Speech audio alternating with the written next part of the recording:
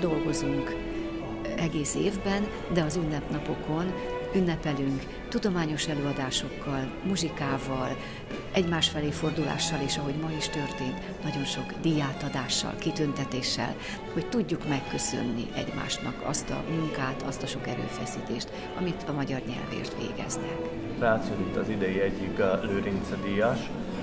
Mit jelent ön számára ez a díj?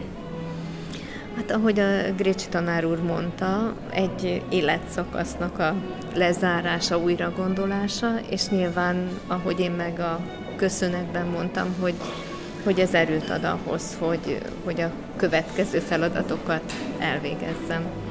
Általában a civil mozgalmakról, amelyeknek közük van az anyanyelvhez, azok mindenike veszteségeként könyveli el, és ítéli meg Marót István elveszítését. Természetes volt, hogy emléket állítsunk, az különleges dolog, hogy néhány hónappal a halála után már ez a díj létrejött, sőt, egy gyönyörűségesen szép plakett formájában Bakóni Aradéva igazgatóasszony, mint első díjazott át is vehette ezt.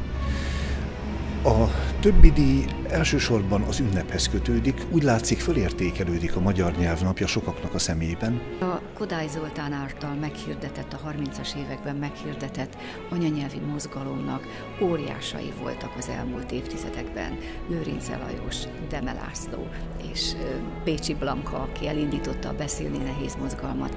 Tehát gyönyörű örökséget próbálunk továbbvinni, és nagyon hálásak vagyunk azért, hogy a magyar nyelv napját úgy ünnepelhetjük, hogy egy kicsit fénybe állítjuk a mi anyanyelvünket, és megpróbáljuk a mi személyes ügyünket közügyé tenni.